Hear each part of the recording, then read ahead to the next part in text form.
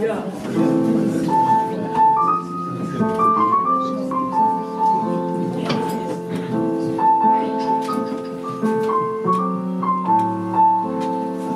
Wenn die Beleuchtung in der Bar am Abend schwül wird, wenn die Musik ein Slowfox spielt in müdem Takt, kommt der Moment, wo mir am Körper ziemlich kühl wird,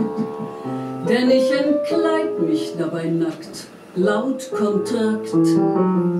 Mit meinem Tüllkostüm beginnt die Demontage.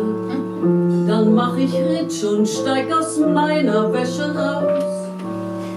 Für die Entfernung der Kleidage krieg ich Gage. Und steh ich ganz im Freien, da gibt's Applaus. Wie eine Zwiebel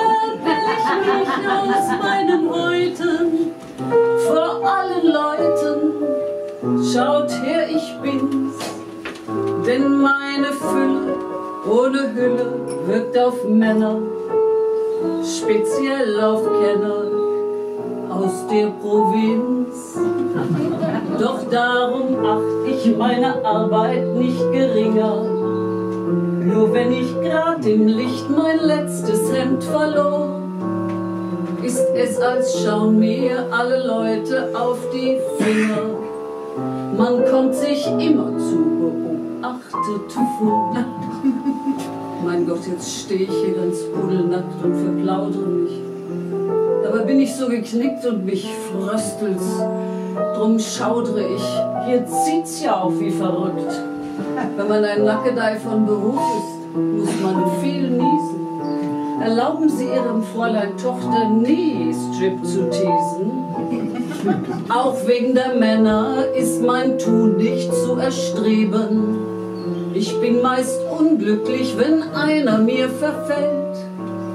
Was kann ich mir denn nachts noch für eine Blöße geben?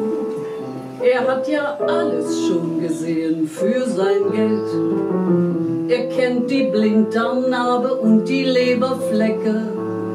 Wie soll ich sagen, er kennt mein ganzes Drum und Dran. Erst neulich sagte einer in der Divan-Ecke, wenn du mich reizen willst, dann zieh dir was an.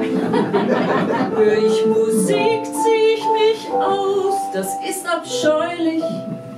So ging's mir neulich, Gerade als im Lohengrin die Stille mit dem Schwan kam, Karajan kam, ganz aus dem Takt. Drum ist mir klar, dass ich das nicht mehr lange tue. Ich will nicht immer dastehen, wie man mich erschuf. Noch 20 Jahre und dann setz ich mich zur Ruhe.